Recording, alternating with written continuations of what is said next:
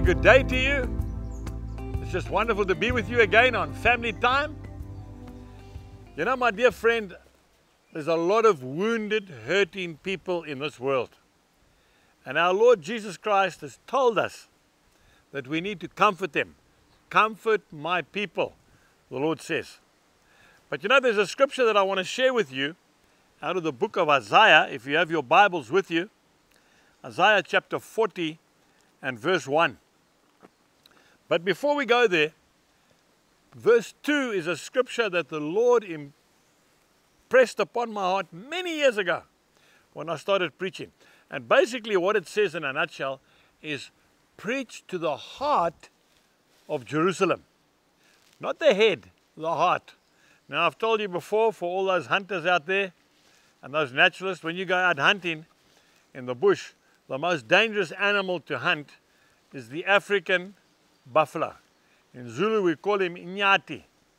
He is the most dangerous animal because he's got that big horn and that boss in the front. And if you shoot him in that boss, he's not going to drop. It's thick, thick bone and uh, horn. So what you do with a, African buffalo, especially a big uh, a bull, is you shoot him through the heart and then he'll drop like a, a ton of bricks. The Lord says, preach to the heart of Jerusalem, not the head. And I think where a lot of problems come, especially with preachers, and especially when they preach in the gospel of Jesus Christ, which is actually the gospel of love, they preach to the head. They try and win a man to Christ through an argument. Now, I want to tell you, you'll never win anybody to Christ through an argument. You've got more chance of winning him to Christ through losing the argument than you have through winning the argument. Because what people do, they just stick their, their heels in and they say, no ways, that's your opinion and I'm not interested. But when you start preaching to the heart of a man, then you win him over for the Lord. Now let's just go to the scripture where the Lord tells us to comfort his people. I'm reading from the book of Isaiah chapter 40 and verses 1 and verse 2. Comfort, yes, comfort my people says your God. Speak comfort to Jerusalem and cry out to her. Okay? Speak to the heart of Jerusalem and cry out to her that her warfare is ended, that her iniquity, her sin is pardoned, for she has received from the Lord's hand double for all her sins. Comfort my people. We need in these days ladies and gentlemen, we need to speak comfort to people. People don't need to be beaten.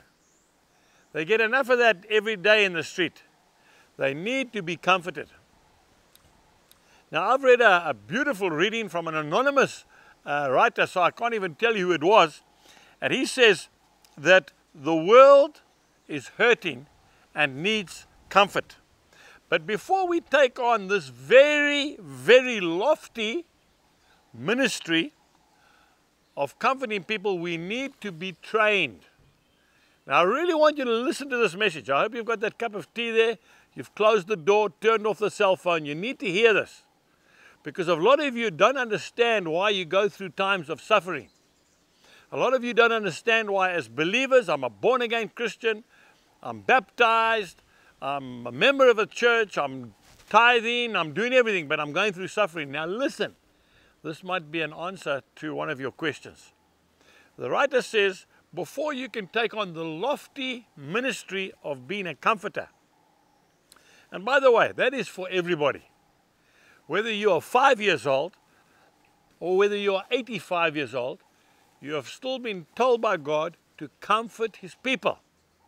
Now, in order to comfort somebody, you need to be trained, just like a nurse has to be trained. Listen to what he says. He says, this training program is ex very expensive. It's very costly.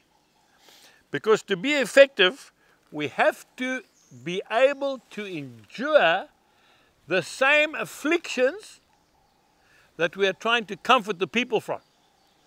You understand what I'm saying? In other words, if you want to try and help a man who's got a broken leg, you need to understand what it feels like to have your leg broken. You see? Some of the, the people who have got the who are the least effective in this ministry of, of comfort are people who have never been sick, people who have never suffered, people who have never lost anything in life. You see? Their, their, uh, procedure is as follows. They go into the hospital ward. They say, how are you? Praise the Lord. Hallelujah. All the Christianese technology. I always remember Regardt van den Bergh when he made that movie, Faith Like Potatoes. He said, we want to try and keep all the Christianese out of this movie. We want it to be real and tangible. Now listen, don't get me wrong. Don't be offended. I also say praise the Lord and hallelujah. But when you're speaking to somebody who's lying in a hospital bed and he is in incredible pain, and he's never met Jesus Christ as his Lord and Savior. So when you say, I've been covered by the blood, he doesn't understand that. Okay, that's some gory kind of statement which he doesn't understand. And the last thing he wants is for you to go in there and say, now listen, pull yourself together, open your Bible, quote a whole lot of scriptures to him, okay, anoint him with oil, put your hand on his head, pray for him, and then walk out. What kind of comfort is that, folks? I pray for the sick, and I always anoint the, oil, uh, the sick with oil, and I always pray the prayer of faith. But the Lord is not talking about healing. He's talking about comforting. When you get an old lady who's been married for 60 years to her childhood sweetheart, and she is totally broken. I know one of them. She lives on a farm right down there in the Colesberg area in the Karoo. One of the most wonderful Christian women I've met. And her husband was an amazing man. Taught me so much about horses. And he died in a tragic accident. He was killed actually while he was riding a, a buggy with two horses. That lady, when she lost her loved one, she doesn't want a whole lot of Christian counseling. You know what she wants? That's right. She wants comfort. She wants you to be able to go into that house, put your arm around her small little frame, and give her a close hug. And when she starts to weep, you weep with her. Not crocodile tears, real tears. Why? Because you know what she's going through. And that is why we have to be trained in order to give real, genuine comfort. Yes, by all means, leave her a scripture as you leave and also pray for her. But what she wants is comfort. You see, it's comfort. It's the, it's the balm of Gilead. Can, if you can just uh, think of somebody sitting there full of, of roasties, now, for those of you that are not from South Africa, that's when you get your skin grazed and it's raw. If you've been playing sport and you get tackled on a field and you get all the skin taken off, it's absolutely raw. Or you've fallen off your bicycle or whatever. And somebody can bring nice, cool ointment, the balm of Gilead, and just put it all over those wounds. And they just seem to stop that gnawing pain. That's what people want. They don't want to have a harsh judgment. Well, brother, well, sister, there must be sin in your life. This is why this has happened to you. This is why your business has gone bankrupt. What, what kind of comfort is that? I think you get more comfort from the world. What, what comfort is there in bringing a bag of salt and rubbing it into those wounds? I tell you what, it'll drive that person mad. The Lord says, comfort my people. He says, speak to the heart of my people not the head knowledge. So don't go there and try and be a wise man and explain to that person why they are in that predicament.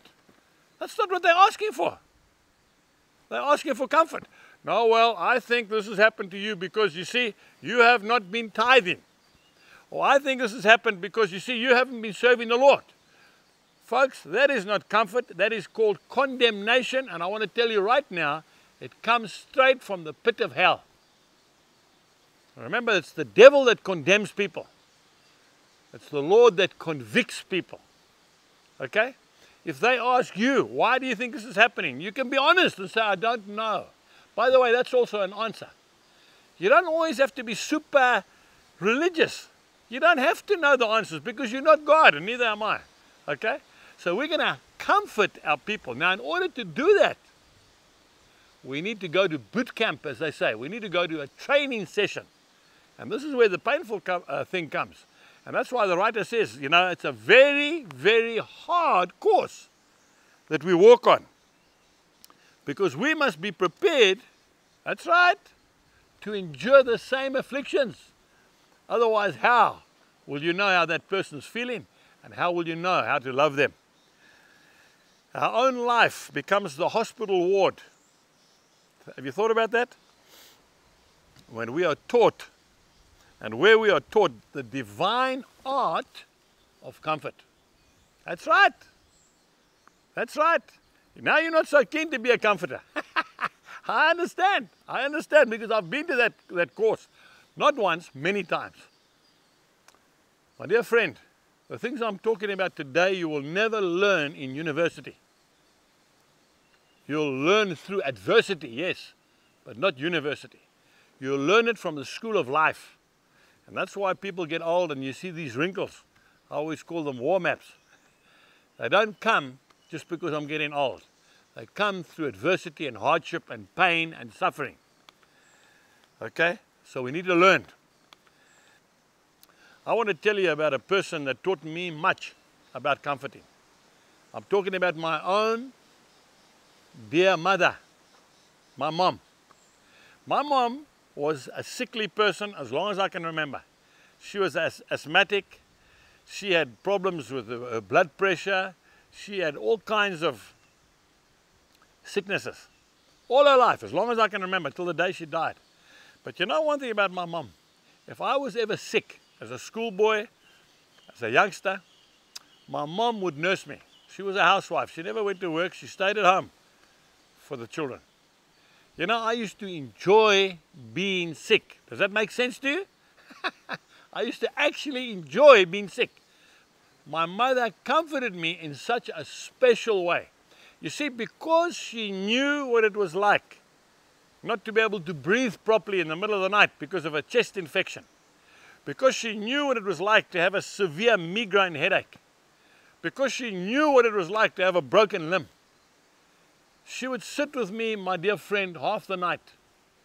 She'd give me a hot toddy. She would rub my chest with Vicks. She would take a sponge if I had a fever and she would mop my brow She would hold my hand, not for 10 minutes, but for two or three hours until I went into sleep. She'd go back to her bed, she'd sleep for half an hour, she'd be back again.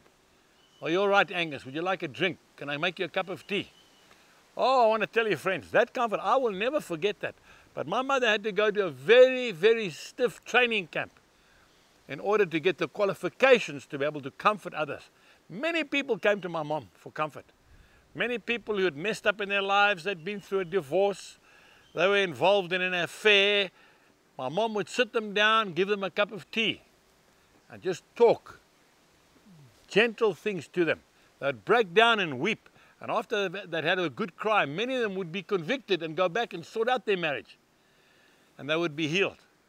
The Lord says, Comfort my people. The Lord says, Preach to the heart of a man, not to his head. And you'll see the difference. If ever this world needed comforters, it's now. But it comes at a price. We have to go to boot camp. We have to go to the school of life. So we need to be wounded sometimes. That's right. And we need to allow the great physician to come and to bind up those wounds of ours so that we know how to do it for others.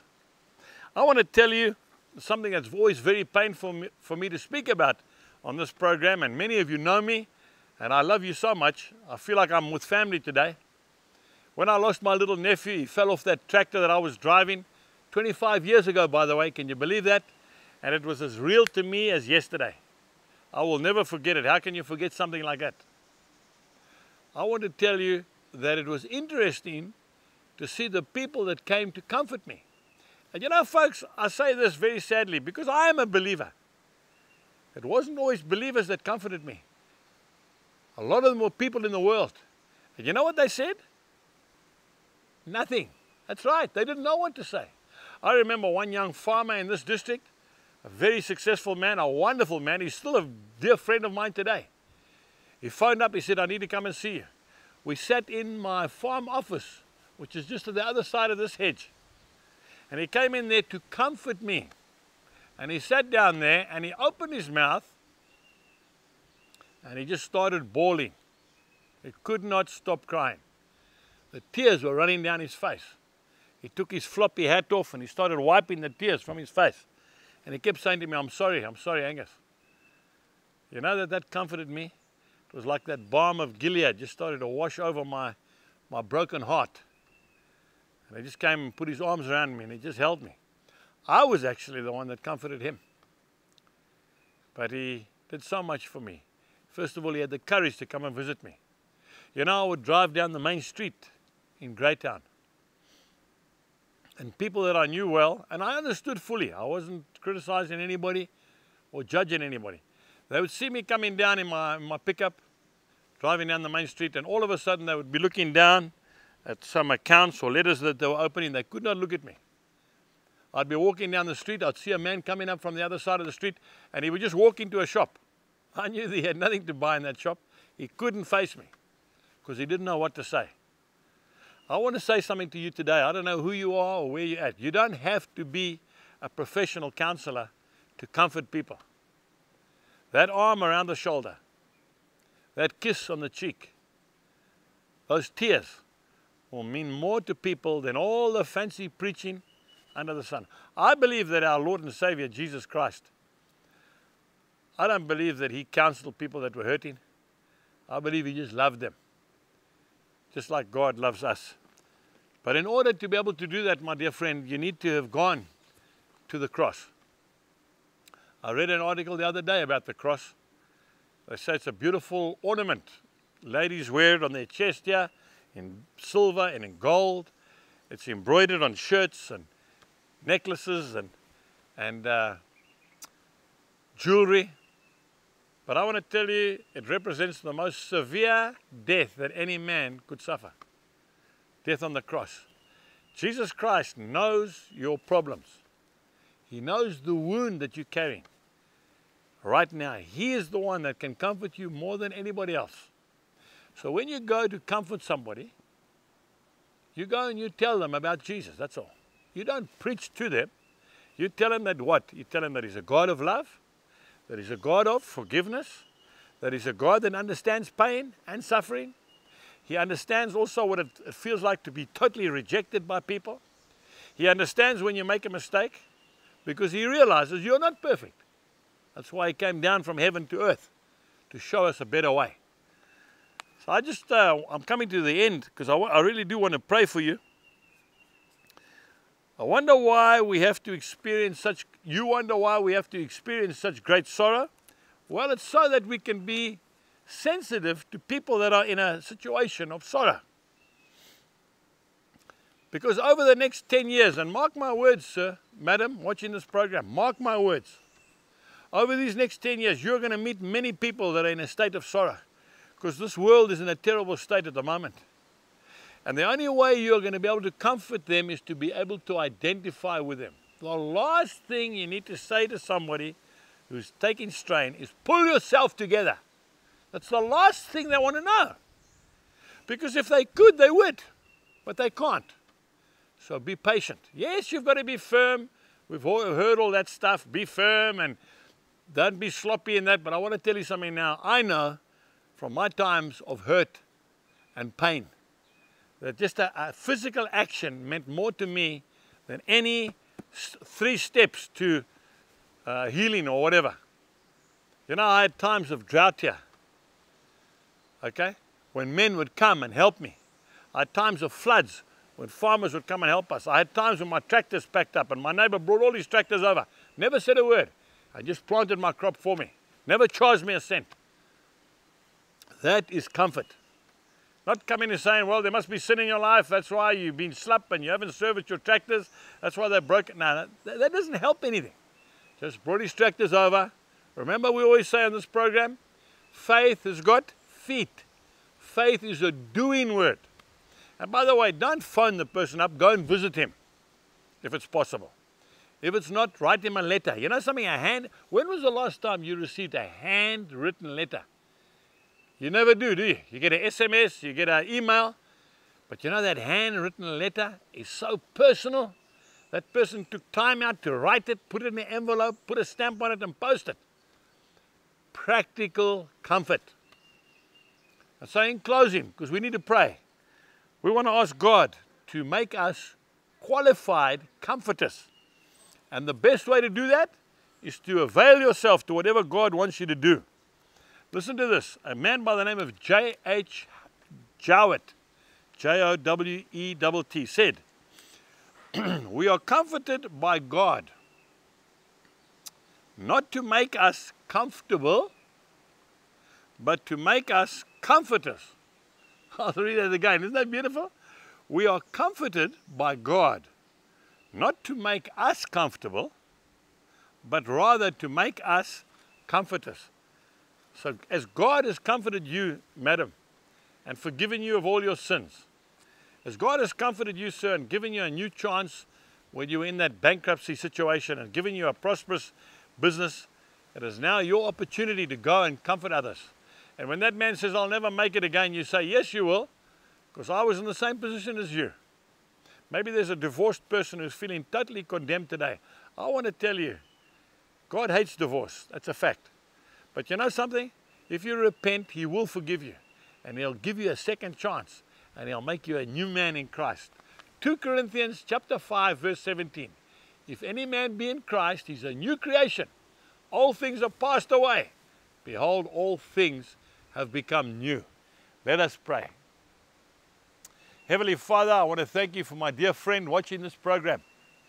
Lord, often we don't have words to speak. We are not eloquent when it comes to speak. But every one of us can put an arm around a person that's hurting. Every one of us can shed a genuine tear. Every one of us can smile and make a cup of tea for somebody. Every one of us can write a letter. The spelling doesn't have to be perfect.